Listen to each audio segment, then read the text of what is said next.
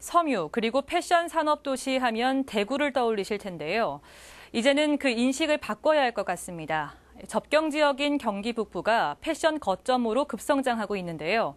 양주와 포천, 동두천시, 일명 양포동이 섬유 가죽 패션 산업 특구로 지정됐습니다. 이상범 기자입니다. 포천의 니트 원단 전문 업체입니다. 이곳에선 원단 제조뿐 아니라 기획 생산과 유통까지 원스톱 시스템을 갖추고 있습니다. 니트 패션 분야에선 경기도의 선도적인 업체로 손꼽힙니다. 양주의 염색 가공 업체, 하얀 원단에 갖가지 색을 입히는 작업이 한창입니다. 독보적인 염색 기술을 보유한 이 업체는 생산 물량 대부분 해외로 수출하고 있습니다. 미주 지역으로 나가는 게 한 70% 되고요. 유럽 지역으로 나가는 게 한 20% 되고 내수가 한 10% 됩니다. 예. 그랬을 때 미주 지역의 각 유명 브랜드들이 저희 회사를 이제 막 노미시켜 가지고 와서 작업할 정도입니다. 경기 북부가 섬유 도시로 급부상하고 있습니다. 2013년 7,700여 개 하던 업체 수는 3년 만에 천여 개가 늘어 전국 평균 2배 이상 빠르게 증가했습니다.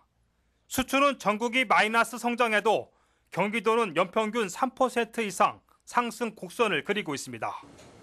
이처럼 섬유 업체가 모여들자 양주와 포천, 동두천시가 손을 맞잡았습니다. 그 결과 접경 지역 3개시는 글로벌 섬유 가죽 패션 산업 특구로 지정됐습니다. 특구 지정에 따라 정부와 경기도 3개시는 향후 5년간 천억 원을 투자할 계획입니다. 특히 기업 비즈니스 센터 건립과 디자이너 육성, 패션 박람회 등을 추진할 예정입니다. 무엇보다 관련 규제가 완화돼 민간 기업 투자가 활성화될 것으로 업계는 기대하고 있습니다. 섬유와 가죽, 패션 산업 특구로 지정이 되었습니다. 어, 동두천은 피혁이 어, 가죽 분야가 상당히 유명하고 그리고 포천 지역은 편집 분야가 유명하고 또 양주 쪽은 양, 염색 공장들이 상당히 많습니다. 어, 섬유 산업의 어, 생산 1번지가 된다고. 한편 세계 자치단체는 이번 특구 지정으로 지역 경제 파급 효과 2조 8천억 원, 일자리 창출 효과 3,700명을 내다봤습니다. 양포동이 섬유 특구를 발판 삼아 세계적인 패션 도시로 성장할지 관심이 모아지고 있습니다.